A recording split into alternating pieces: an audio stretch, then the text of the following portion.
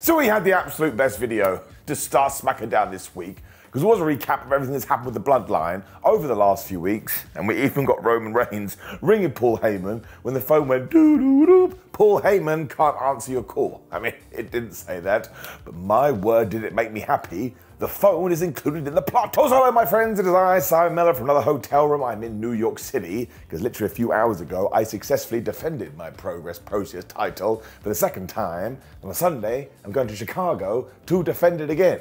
So if you are around or you want to watch on Triller, you can. Then you can find me on the internet and give me your own down. So I am just having the best time and thank you all for your support. But now it's time to take the American finger of power and give the good bits the up and the bad bits are down. Bianca Belair was in the first person out on SmackDown, which did tie in, because of course all this week, everybody has been talking about Jade Cargill. Seven days ago, she was found bludgeoned on top of a car. Now some people say she's injured for real, and other people say she's not injured at all. This is how wrestling should be, as long as she is mostly okay. Work me, baby. Shouldn't have said that. We then went full WWE 2019 because Naomi's music played, Iyo Sky's music played, then Bayley music's played because she's now in the War Games team. We didn't even get a video for this. It was just like, meh. She turned up on Raw. She could be on War Games without Kane and Rhea Ripley. And as always, everybody gave her a big pop. So if you're one of these strange people that go, I don't like how Rhea Ripley's being booked, you are of course allowed that opinion. But listen to the fans, they love her. Now, Michael Cole did fill us in with all of this. I mean, he may as well have shouted exposition through the microphone. Honestly, Rhea wearing this nose mask thingamajig, whatever you want to call it, that is totally badass. She looks like Batman. She also told us that it doesn't actually matter that the good guys War Games team don't like each other, because when it comes to the bad guys War Games team, every single person in the ring right now hates one of them, and it'll be that rage which fuels them forward or something. Rhea then said all of the names of the individual enemies, and she looked at members of her team when she was doing it, when Naomi said they were lapdog. The definition of that is a small dog you keep as a pet. I don't remember that in the story. Naturally, at this time, the bad guys did arrive because they had been called lapdogs, but also because of Wrestling Rule 14.8. The first thing Liv Morgan did was go, did that laugh she does. It does not sound like that. Nia Jax then made sure to stir the point with a more direct intention because he was like, you talk about us, every single one of you in the squared circle right now, you've all fallen out with each other. So when we get to the war games, you're probably going to do it again. I mean, she's not wrong. Bayley then played her too because she was like, you don't even respect Tiffany Stratton, who's meant to be your buddy. And because she had mentioned buddies, Nia went, you don't even have any friends. Listen, it was the most lame insult ever. I laughed. We then got into the Jade Cargill stuff, which is the best shot to fire, because Jax was like, uh, excuse me, Bayley, you have benefited very much from this, so maybe you're to blame. When Rhea was like, can we all just shut up and fight? Liv Morgan went no, and they walked away. Of course, thankfully, the baby faces remembered there isn't a force field around the ring, so we finally did get our big brawl, and that bit was good. We probably should have got to that very, very quicker than we actually did, because while the rest was fine, I don't know, man, but for new WWE, it did feel a little bit by the numbers. I mean, it just wasn't the best way to sell you on a death match, even though when we get to that Cage War death match, it is going to be awesome. But yeah, I don't want to say it was like boring. It wasn't. It was fun enough, and I like each individual character. But I do feel like we could have done more. Therefore, I have no choice. It must get it down. But again, do I really care? No. I am pumped for War Game. When Andrade was back on SmackDown, because he still wants a shot at the US title. I feel like, bro, come here let it go, you failed. Now, WWE did sell this the right way because they were like, he is taking on Shinsuke Nakamura because Mr. Tranquilo feels like Shinsuke has come back to WWE and cut the line when it comes to this championship. I mean, that's pretty true. Now, I do have to say something controversial here, so you do have to forgive me, but because Nakamura is evil now, we have remixed his theme song.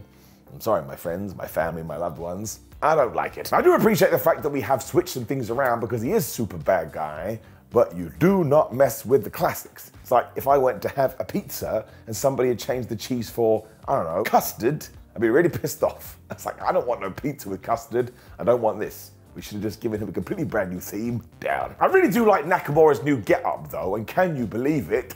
He actually won here. Now, some people are melting down going, oh my gosh, Shinsuke hasn't been on TV since April and he beat Andrade, but it really doesn't matter. They had a super good match, and again, it's just Nakamura's time right now. In 2025, pretty sure Andrade is going to get his. Goal here as well, of course, was to convince you that maybe, just maybe, Shinsuke Nakamura can win at the Survivor Series. I guess I'm more convinced than I was. And these two, I swear, There was this one moment when Shinsuke was about to climb in the ring and Andrade just booted him into the face and gave Shinsuke the moonsault to the outside, and Nakamura laid there like he was dead. Because I'm a massive nerd, I actually called the cops. So I really would take an elongated feud between these two any day. When, of course, Andrade was stuck by the most powerful force in all of sports entertainment, the commercial break. So when we came back, Shinsuke Nakamura was magically in control. Maybe Andrade had said to Shinsuke, dude, your hair is awesome, which it is, by the way. That kind of pumped Nakamura up and he went at it. They were then fighting on Tina the turnbuckle when Andrade went to do something in the corner. But when Nakamura got out of the way, he exposed the steel. And honestly, Andrade then went for the double knees and he went flying into this thing. I mean, bless that man. He did not hold back. It was a bit like what Bron Breakker had done on Raw, that damn table, when Nakamura did hit the Kinshasa, one, two, three. And then I, of course, ran out afterwards to try and get his revenge, but Shinsuke went and blew the black mist in his face because he's evil now. So once again, in terms of building this match up, given we haven't had that much time, I thought they did a decent job. This match totally cooked. Ah, Solo Sikoa then won the night because he was telling Jacob Fatu, who was going to face Jey Uso later, listen, you've got this, and certainly don't worry about Jey's dancing. Honestly, I acknowledge Solo, he's the best. Nick Aldis then walked in and told the Bloodline 2.0, listen, these two are fighting to figure out who's going to have the advantage in the War Games, so everybody is banned from ringside. Sikoa went, all right, Nikki. so once again, he's my new favorite. We then cut to Tommaso Ciampa, and it turned out he was still mad. I was like, dude, you've had a week, you've got to calm down. He was screaming at Johnny Gargano, though, saying, we're not losers, we're not losers, which is something a loser would say. Johnny was like, let me just talk to the machine guns, and I'm sure we can work this out. Tommaso was like, it's your friendship with the machine guns that is the problem, when Johnny still said he could talk to them, when Tommaso Ciampa turned into a James Bond villain and said, fine, you've got one week, we're going to do it my way. So that really did feel like murder, although Crazy Ciampa is the best Ciampa, when we had this Kevin Owens video. I'm giving it a round of applause because KO turned up to SmackDown and he had the receipts. Because they literally went through every single thing the Bloodline had done to him. And the end point of all of this was they tried to kill me, they tried to kill me, they tried to kill me. He even showed the clip from the Royal Rumble when he got hit with the golf cart. That's what we were all saying on the internet, because we're geeks. The best one, of course, was at the 2023 Royal Rumble, when the Bloodline totally bludgeoned him, because who was in the building that night? Cody Rhodes. And who did not help KO? Cody Rhodes. But what was Kevin Owens doing late in the year? He was helping Cody Rhodes. So you cannot argue it. Kevin is totally right. And he ended this by saying, you know what? Saturday night's main event, the American Nightmare ends in favor of the Canadian Dream. So that's it. He is getting it up. And that even didn't last this long. And as I said on the internet the other day, which broke my social media, I think Kevin Owens should win. That's not because I hate Cody Rhodes, because sometimes I want chaos in my life. I am Dr. Robotnik. Clearly Cody was watching this too and then totally ripped up the running order because he came to the ring because he had fallen out with Carmelo Hayes last week. It's time to fight. Now Melo cut a promo as he was walking to the square circle was like, I agree with Kevin Owens too because you, Cody, stab your friends in the front.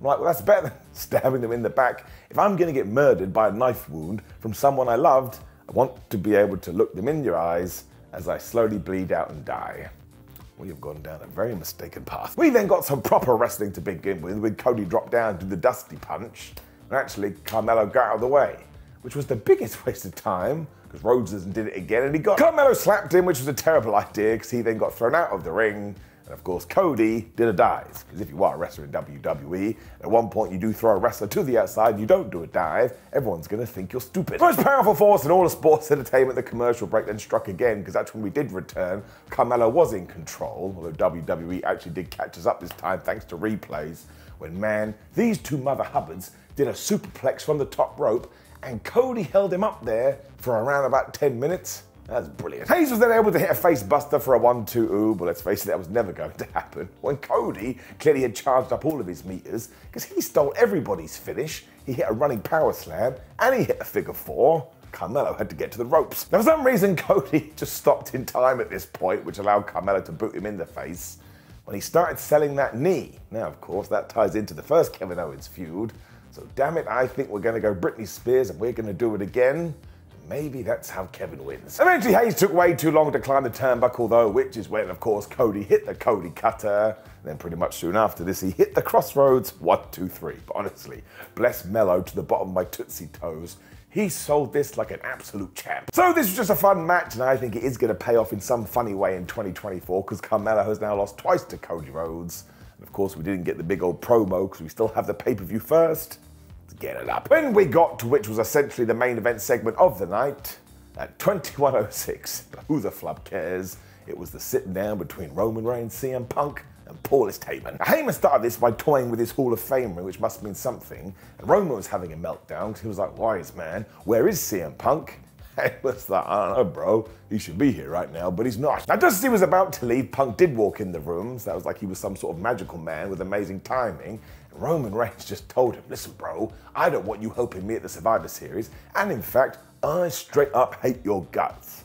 I was like, why don't you tell him how you really feel? Now, CM doesn't want to do this either. He was like, why aren't you listening to me, you dingus? This isn't about you, Mr. Tribal Chief. It's only about Paul Heyman. He's my friend, he's my pal, and everything I'm doing right now is for him. Roman then pretended he was all happy about this, and that was like turning up your ex's wedding and go, please marry him, I don't care. Which is when we got more barbs, when Paul was like, listen, dudes, you two have to get on the same page. Because ever since WrestleMania 40, do you know who has been running wild over SmackDown? It is Solo Sikoa and the Bloodline 2.0. So if you can't run the team, you're all gonna die, especially you, Roman Reigns, because Solo Sikoa knows you're the biggest threat, so he's gonna come after you. So if you want to survive, which was very good time, because that's the name of the pay-per-view, you must come together like Lego. Now Punk once again said, listen Roman, this is nothing about you. I am doing a favor for your wise man, because let's not forget, I want to get my revenge against the Bloodline 2.0 as well, because they threw Paul Heyman through Alan the announce table. And the absolute best part is that Punk said when all this is said and done, maybe they can sit down and have another chat one on one. The first I was like, oh,